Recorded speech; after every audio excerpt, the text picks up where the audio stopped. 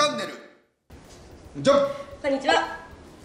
さて前回、はい。自主トレはなぜ遠くに行くのかっていう話をしましたよね、はいじゃあそもそも自主トレはなぜするのかっていうところ、はあと何をするのか、はい、うん。これでもね、はい。あの僕の聞いた話ですけど、はい。昭和の人たち、往年の OB の選手の人たちは、全員じゃないですよ。はい。自主トレそんな知ってないらしいですよ僕プロ入った時に、はい。何年目かの時に、うん。そのもう超 OB のはい。あの実績ある人にうん言われたことがあって、はい。なんでそんなに1月に必死に練習してるのって言って。いやだってもうだってキャンプに仕上げないとキャンプ始まるじゃないですか。そうですよね。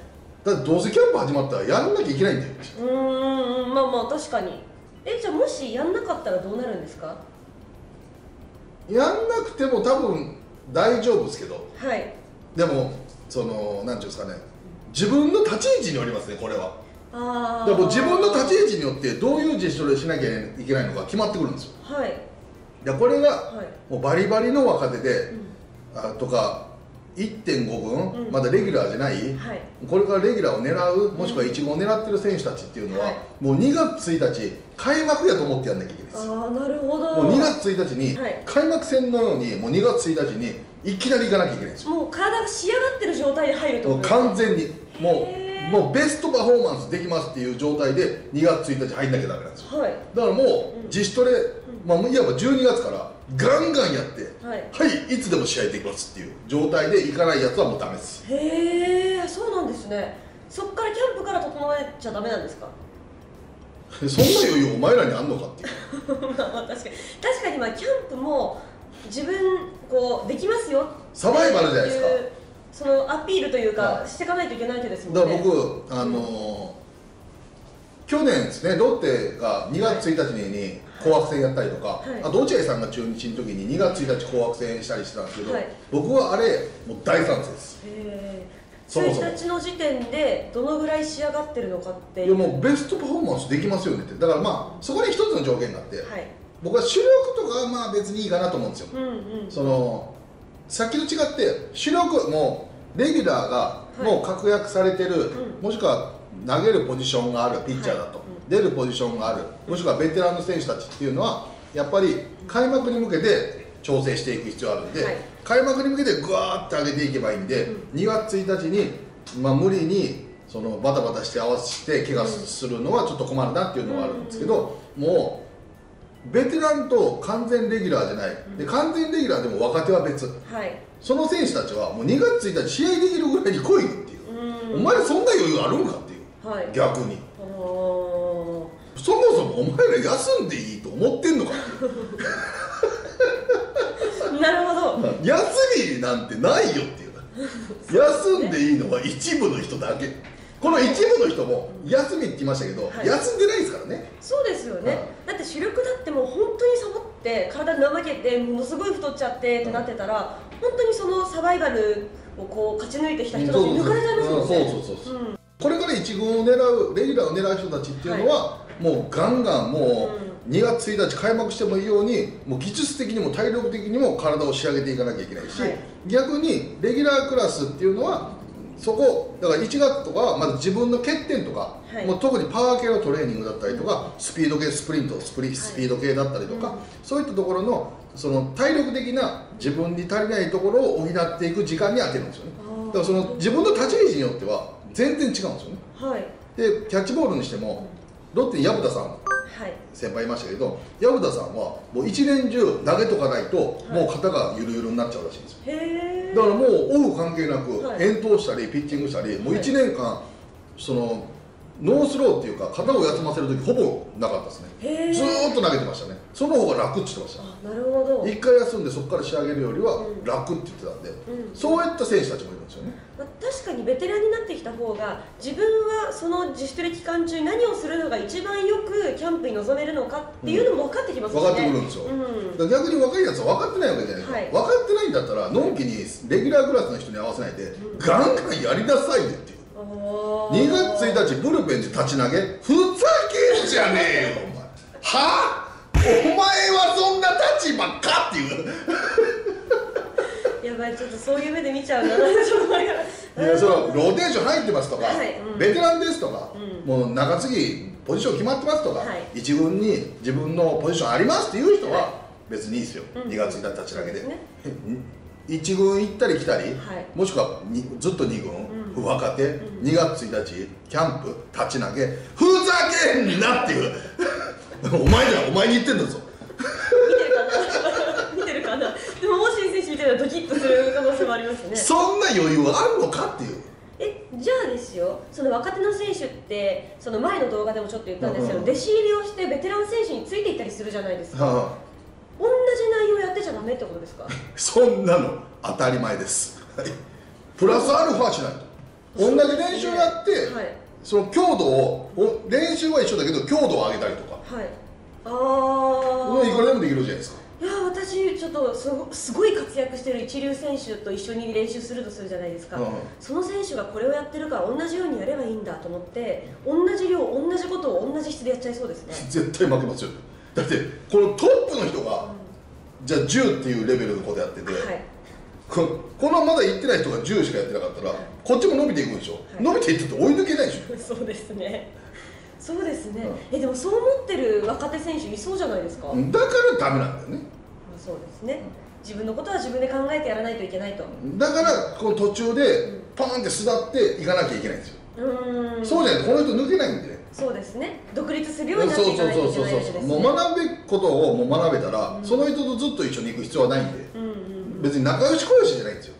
う学ぶべきものがもうなくなった時点で新しく学ぶべき人のところもし行くか、はい。もしくは自分でそこからオリジナリティを築いていかなきゃいけないんで、はい。だから今はね自主トレでそのいろんな選手、うん、競技はい。と人と一緒にやって、ん。だから一回なんか宮本慎也さんがジャイアンツの坂本勇人がね、んはい。多分あの豊さんの動画慎也さんが出た時言ってたのかな、はいあの自主トレで教えるのに、うん。そのライバル球団にあのの選手に技術を教えていいんかっていうようにちょっと問題になりかけたみたいな話言ってたのがあって、はい。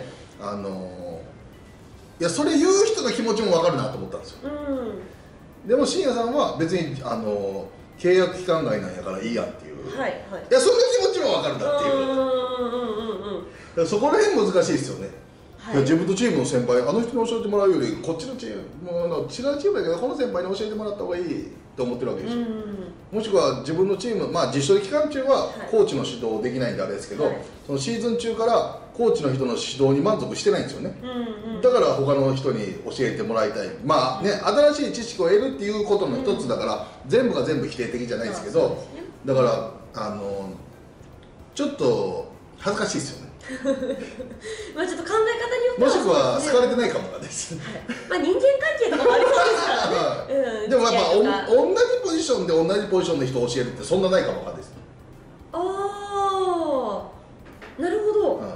あとまたチーム内だとはい。コーチの人もいるから越権行為になったりとか、うん。いろいろ面倒くさいんですよ。あなるほど。まあいろいろあるんですねそういうのも。いやな本当もうドロドロのもう面倒くさいこといっぱいあるんで。だから自チームだとそういうがあるっていうのも一つあるんですね、そうですね。うん一人やるのが一番楽ですね、うん。あとは他球団行く方がねそういうドロドロ感にならなくあていいじゃないですかすね。うんうん。どっち派やとかね。好きなんですよ。プロ野球界どっち派やっていう。派閥的なものですか。まあ僕も派閥立ち上げてるんで。ねえ外崎派ですか、はい、里崎派なんですけど、はい。あの里崎派は出入り自由掛け持ち OK なんですよ めちゃめちゃ自由じゃないです別にだって来るもの拒まず去るもの追わずだから別に来たい人は来ればいいし。別に一人でもだっていいんですもんね。そうそうそう別に困ってないんで、はい。だから来るもの拒まず去るもの追わず出入り自由、はい。あのあと共存も自由だし、はい。掛け持ち OK はい。すごいスタイルでしょ、すごいですね、うん、だから里崎教はい。競争的にははい。広い心でね。はい。別にもういろんな人のいい考えをはい。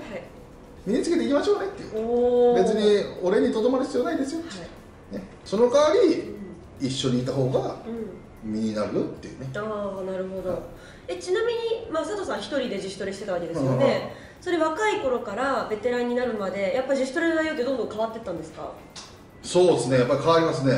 やっぱ若い時の方が、はい。あのガンガン、うん。まあ、こう同じことやっても、はい。その負荷は高いです。よベテランになってくると、はい。あの大きな問題があってはい。気持ちは若いんでガンガンやるんですけど、はい。あのやりすぎると怪我するんですよ。えー、の自主トレ期間中怪我したことあります？自主トレ期間中に怪我したことはうんうんないですね。ではい。でもまあどっか痛かったりするじゃないですか。うん。ちょっと肩の周り悪いなみたいな感じであのキャンプ入る時もあるし、はい。まあ、そういうのはありましたけど僕いつも思うのがねはい、キャンプ入った時に、うん。あのまだキャンプの練習の仕方でまだ話しますけど、はい。あのその時話すから今日やめろやっぱり。もうちょっと出し惜しみで。出し惜しみ。はい。もうそれは全然もったいない。はい。でも、うん。あの人によってやっぱりその強度は違うですけど、はい。あのやることガンガンやっていかないと、うん。トップできないですよ。トップにいけないですよね。うんでも僕は基本的に自主トレはあの体力系の練習の方が多かったですね。スプリント系の走るのをしたりとか、あとはあのウエイトトレーニングうんうん。をしたりとかあのまずはあのオフシーズンははい。